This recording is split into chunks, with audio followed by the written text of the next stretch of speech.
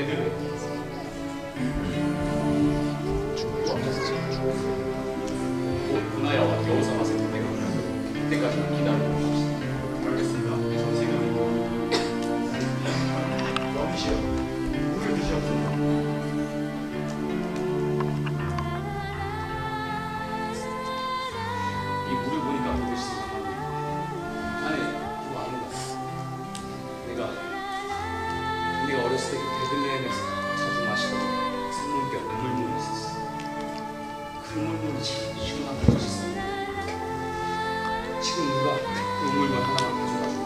내 소원이 없겠다. 어미시여. 지금 그것에 신경 쓰시면 안 됩니다. 전쟁에 집중해야 합니다.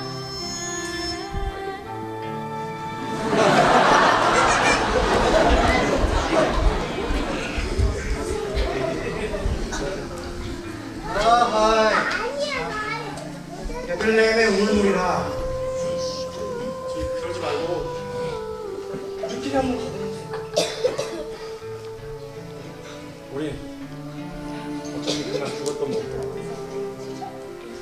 왕께서 살려주신 목숨 뭐가 아깝겠나 왕을 위해서 그래 가자 그래 뭐 형님 간다 그러면 아, 나도 갈게요. 갑시다. 갑시다. 준비하고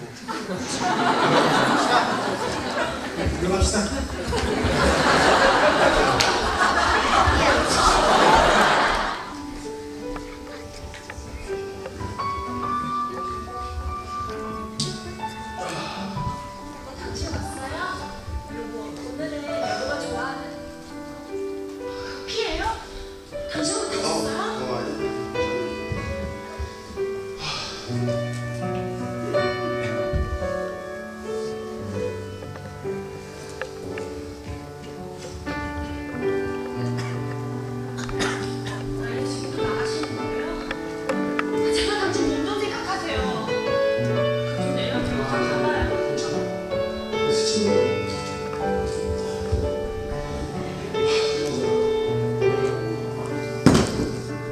왕께서 어, 베들레 우물을 마시고 싶어 오셔서? 가려고.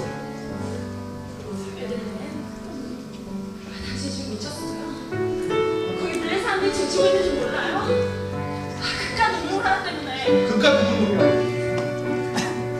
나를 살려주신 왕이야. 그분이 원하시는 거면 뭐가 어떻겠어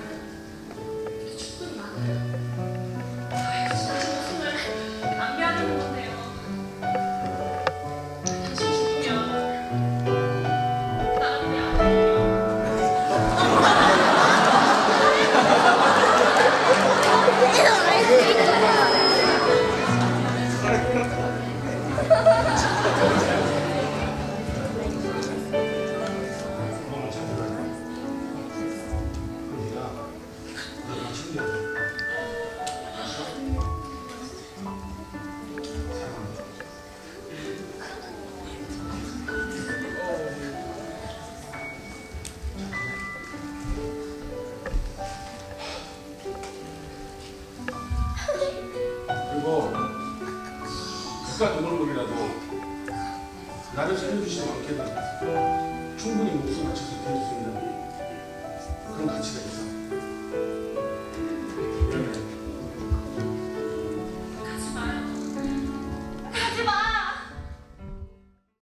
그런데 이 베들레헴은 다윗의 고향이고 그 베들레헴에 블레셋 사람들이 있는 거예요.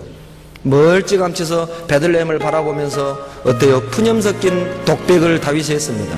자, 베들레헴에 가면은 내가 어렸을 때 뛰놀면서 그 퍼먹었던 그 우물, 그 우물 참 맛있었는데 그 이야기를 옆에 있는 이름도 없는 새 용사가 들은 거예요.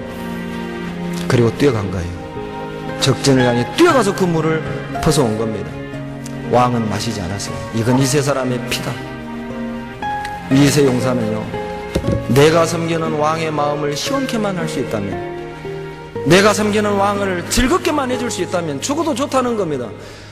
블레셋 사람들이 우글거리는 그 적진으로 뛰어들어간 거예요.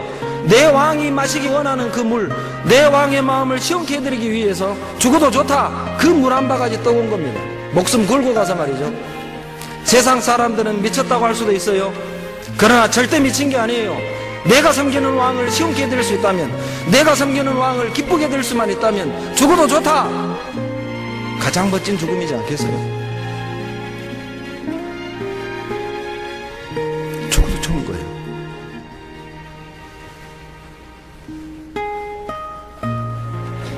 예수 그리스도를 내 인생의 왕으로 우리가 인정한다면 내 모든 결정권을 우리 주님께 돌려드릴 겁니다.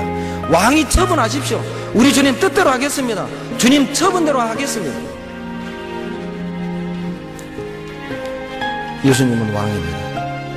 예수님은 나를 만족시키는 도깨비 방망이 아니에요. 하나님 이 문제 해결해 주시고 이것도 주시고 저것도 주시고 왕은 나에게 예수님은 나의 채무자가 아니라고요. 나는 채권자. 예수님은 채무자. 이것도 주시고 저것도 주시고 안 주시면 문제되는 거죠. 아니라고요. 예수님은 나의 왕입니다.